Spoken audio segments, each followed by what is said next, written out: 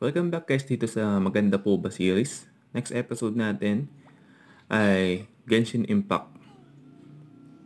Yan. So last time, gumawa tayo ng video.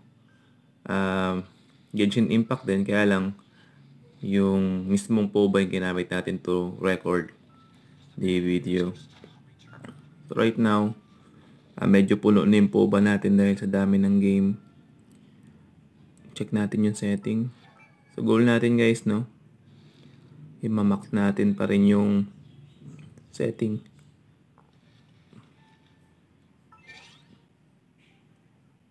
So, tayo sa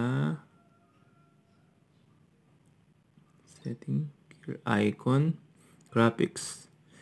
Ayan guys. Makita natin, no? Tayo sa highest na. Para lahat high. FPS 60 Na natin. So yun, naka-max setting na guys. Check natin kung kaya pa rin ang POBA natin.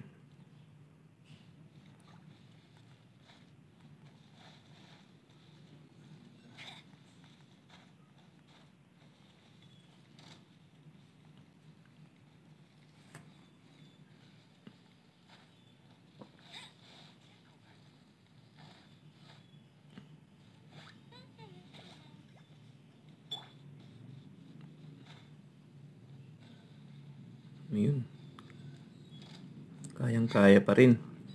Kahit na minax natin at puno na ng game. Dami kalaban. Ayun. Ang maganda dito sa Genshin Impact, open world siya. Kahit saan ka pumunta, may mga may pwede kang gawin.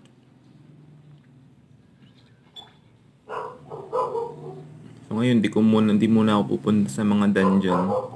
Dito muna ako para matest lang natin yung capability ng POBA.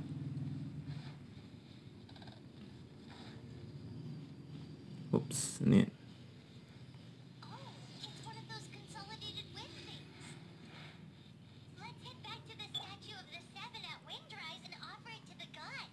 Oh, it's one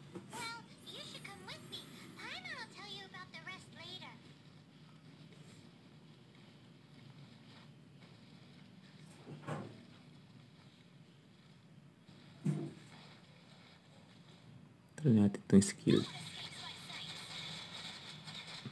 Nice.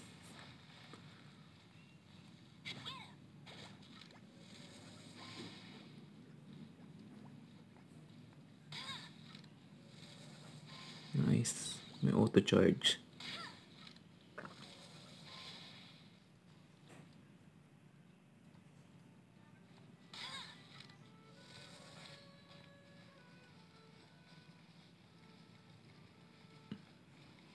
Ayun, kalaban. May chest. Chase tayong hero.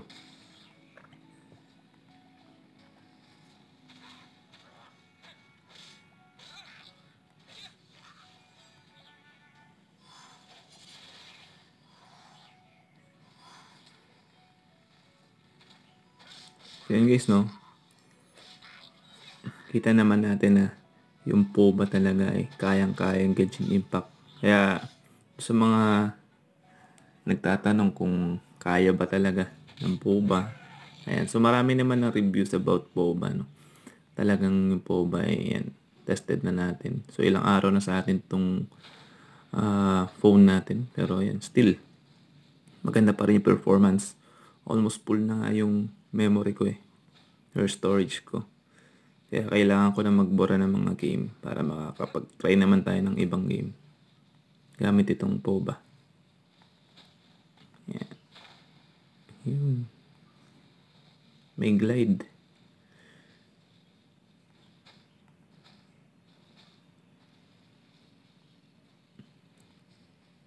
So, yun na muna guys. Thank you for watching. See you next video.